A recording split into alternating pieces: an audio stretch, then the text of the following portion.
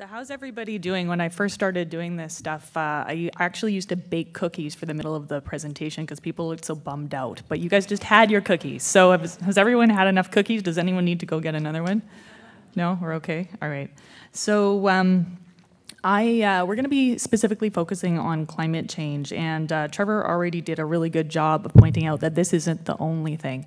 Um, this picture was actually taken um, in part of the land that Nathan was talking about earlier. I took it when I was flying uh, between Inuvik, which is um, territorial uh, center north of uh, 60 um, and a little nursing station called Aklavik to do clinic a few years ago. So this part of the world is already three degrees Celsius warmer than it was in the 1940s. Uh, many people know that uh, the Paris Climate Agreement is going to try to help us keep global surface temperature warming between one and a half to two degrees Celsius warmer than it was in pre-industrial times. So this, we've already, you know, in this area, we're already twice the one and a half degree limit. You can see all the water there. Um, an increase in uh, temperature of three degrees is a big deal when you're talking about the difference between solid water and liquid water. Um, these are highways for people in the uh, wintertime. Uh, there's actually a highway that goes between Inuvik and Tuktoyaktuk. Um, that allows for the cheap transfer of groceries. Um, lots of building supplies are brought in during that time. Um, when that becomes, uh, when there's less days per year where that's traversable, when it's more sketchy to be there, it's tough for humans to live in a, in a cheap and more reasonable way. Um, it also is difficult for caribou, which is a fundamental uh, protein source. Um, they're having trouble negotiating um, both the increasingly boggy permafrost and the dangers of ice crossings. So that food supply, their herds are really tanking, unfortunately.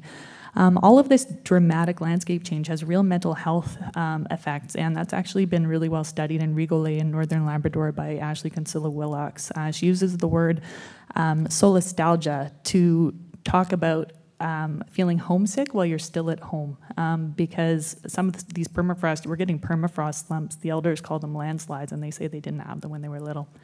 So I do want to acknowledge that right now we gather on the traditional territory, unceded territory of the Algonquin Anishinaabeg people, and I thank them for having us. So I finished my emergency training in 2008, and then in 2009, I read that uh, climate change is the biggest global health threat of the 21st century and that it's an emergency. And I was like, that was not in the textbook. I read the whole thing, I took notes on the whole thing, it was not in there. Um, and so I sat with that knowledge for a bit, and what didn't know entirely what to do was happy in 2015 when uh, the Lancet issued a second commission on climate change and health that actually said that responding to climate change could be our biggest public health opportunity of the 21st century. And we're going to talk as much about that as we can. But first, you need a climate change crash course. Are you ready? We're going to go through this really fast. So this is drawn based on a British Medical Association um, article, and it was drawn by somebody who got a C plus in art in grade seven and hasn't had any training since then, and will, will remain nameless. So um, immediate and direct risks. So this is heat waves, direct heat stress. Uh, homeless, elderly, uh, people with disabilities are actually extremely vulnerable to this. Fires, smoke exposure, potential for direct injury, floods, uh, injury potential, evacuation potential, uh, really tough uh, economic consequences of floods. Uh, air pollution getting worse because increasing temperatures result in increased uh, formation of ground level ozone, which makes it difficult for people with asthma and COPD to breathe. We're also seeing longer pollination seasons um, because the flowers are warmer for longer, and so that's no good for people with uh, hay fever. All of that increases respiratory illness. Now, we've talked a lot about CO2, and uh, so CO2 in air equilibrates with CO2 in water bodies. When I'm in the emerge and someone's having trouble breathing, I often order a blood gas to see what their CO2 level is because that actually makes their blood more acidic. Our bodies don't like being more acidic, and apparently the bodies of fish don't like that either. And so that's a problem for the fish. It's also a problem for the 1 billion people who rely on food from the ocean as their main foodstuff. Um, all of that funny weather is going to decrease crop yields. Uh, as we know, decreased crop yields frequently leads to increased food prices, which is usually a bigger problem for uh, the people in the lower part of the um, socioeconomic food chain. Children are particularly vulnerable to mal malnutrition, elderly people. Um, kids who have malnutrition, it's like taking care of little uh, chemo patients. They have got, they're completely immunocompromised. So, all of that, you can imagine if your kid had no food, you would pretty much do anything to find them food. So, that means that there's the potential for uh, basically moving to places where there's more food. Um, people don't always like it when people move to where they are, so that leads to a potential for conflict. There's some literature coming out of uh, Syria that says that a five year long drought prior to the Arab Spring was a contributing factor to sort of uh, a level of unrest in the population that made it more easy to ignite a conflict. Um, so people are uh, not where they usually are. There's potential for conflict. There's a potential for systemic and economic collapse. We haven't even talked about the people that can bite you and make you itchy. So Lyme disease is moving across the country. Malaria is changing distribution. Animals who no longer have habitat are likely to go to places where humans are and can bite you. So the next Ebola could be coming through all of this. Um, and then, so is anyone feeling stressed or anxious? Because the literature shows that that's a thing. All right. Okay, so there you go. Um, and this really did hit home for me when I spent six months taking care of malnourished kids in the Horn of Africa. Um, you know, having a mother thank you for your care right after their child has died under your care is about the most humbling thing that has ever happened to me. And I said to myself, I'm going to do what I can uh, when I get home to stop this. And it turns out that that meant working on climate change. So, uh, this is an important concept. So the carbon bubble um, basically means that we have about five times, we're imminently planning on burning about five times as much fossil fuel as we can afford to burn without going over that two degree target. So um, this is um, what we're what we can afford to burn without going over two degrees. This is what we're planning on burning. So this actually forms the basis for the divestment argument because if we have to leave all of this stuff in the ground in order to save ourselves, it's worthless can't take it out, can't sell it. So the part of the stock market price of global fossil fuel companies that's relying on plans to take that out and burn it and sell it, um, it's gone. Okay, so when the CMA divested, they partly did it for ethical reasons, but they also partly did it because the people, the vice presidents of MD Financial, who actually about 200 meters over there uh, a couple years ago looked at this slot and said, Are these guys legit? Are these guys legit? And I was like, Yeah, these guys are legit. Understood this really quickly and moved really quickly to divest. Um, and so the Lancet 2015 Commission sort of said that on the basis of current emissions trajectories, we're, we're heading towards 4 degrees Celsius by 2100. We're not getting the job done, and we're going to blow our carbon budget by about 2030. Could always be a worse day, right? We don't have, if you don't have bad dental pain, it's a good day. You know, if you've sat here for five minutes already, you probably don't have a raging urinary tract infection. Okay, so our job, this is uh, the IPCC chief, and she gave a lecture actually to the heads, to the world's uh, health ministers last year and said, We have five years to make an extraordinary difference. So, what are we going to do? This is a trauma room. I'm an emerge doc where a sick patient has just been brought in. You can see people don't really know yet what the diagnosis is. They don't know what they're going to have to do. You can see they look anxious. Now they have a provisional diagnosis, they have a provisional plan. Everybody has a job, they're doing their job. They look calm, right? We need to get to here. The patient's still sick, right? But you have a plan, you're moving forward. So, what's going to help us out with this? So, mitigation wise, um, the best minds in our country tell us we can get to 100% low carbon electricity by 2035 and 80% decrease in greenhouse gas emissions by 2050. Okay, so I say we go that way. And we're helped by um, a real fortuitous decrease, huge decrease in the price of renewable energy in the last little while.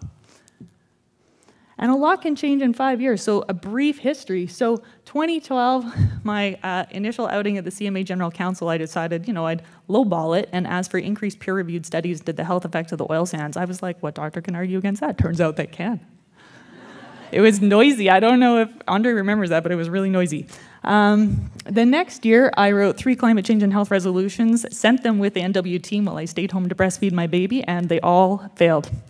The next year, we, it was here, we had a uh, carbon mache uh, planet. I think that made all the difference. It was Curtis who made it. We talked to everybody three times. All the motions passed. The next year we voted to divest. The next year they confirmed divestment. Uh, we passed a motion uh, saying that the CMA would um, actually promote the health benefits of carbon pricing. And uh, MD Financial has actually confirmed that they've gone carbon neutral. Um, we've also passed a motion uh, talking about the health effects of uh, assessment projects for hydraulic fracturing. So you can buy a fossil-free fund now. All of this work, so now moving beyond the professional association means you need to move beyond your profession.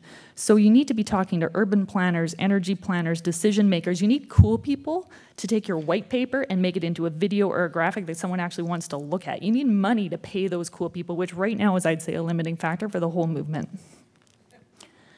Why us? Well, it turns out that nurses are the people people believe the most in the world, and doctors are the second. Politicians generally are at the bottom. And so, Ryan, I don't know where this leaves you, my friend. Anyhow, um, but so right now we're leaving saving the world to the guys at the bottom of the period. Does that make sense to anybody? No, right? Like we got to get up and get going. So, what do we need to do? Um, everybody needs a community adaptation plan, okay? Food security, water security, floods. We need to talk about our medical supply chains, okay? If, we're, if there's conflict in a part of the world, where are our syringes coming from? Where's our meds coming from? We need to talk about this. Um, mitigation wise, we need to start thinking about this in terms of tobacco and smoking cessation and not the thing we do in the clinic was like, you need to be a better person and drive less, take the, doesn't work. Okay, so our targets, the best ones, have a high carbon impact, immediate health co-benefits, and are economically doable. Okay, this means we're going to talk a lot about air pollution. So air pollution, according to the WHO, affects one out of every seven deaths worldwide, and there's significant Canadian stats. Uh, 21,000 there, according to the CMA. This is uh, from a wildfire day in Vancouver. And so we've used this to help get coal phased out. A huge coalition of health groups in Ontario, probably some people in this room, helped get Ontario to phase out its coal plants, which was the single, single biggest greenhouse gas reduction maneuver ever in North America. Okay, that was done on the basis of air pollution health arguments.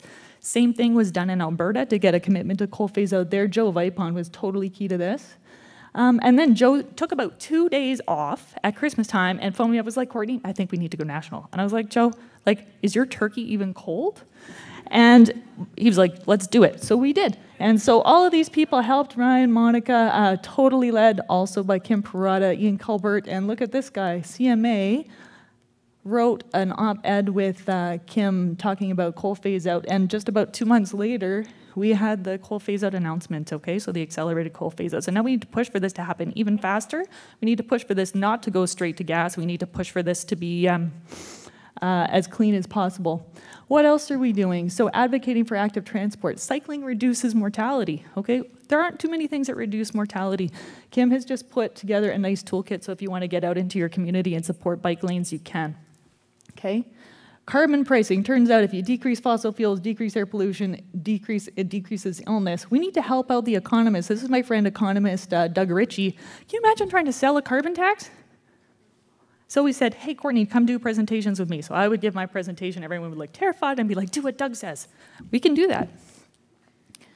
We need to put motions to work and request health impacts into, into uh, resource extraction. So 84% of public health studies on fracking show a red flag. And this has all come about in the last two years. This research is not getting out there. So there's docs in BC who are really trying to do that.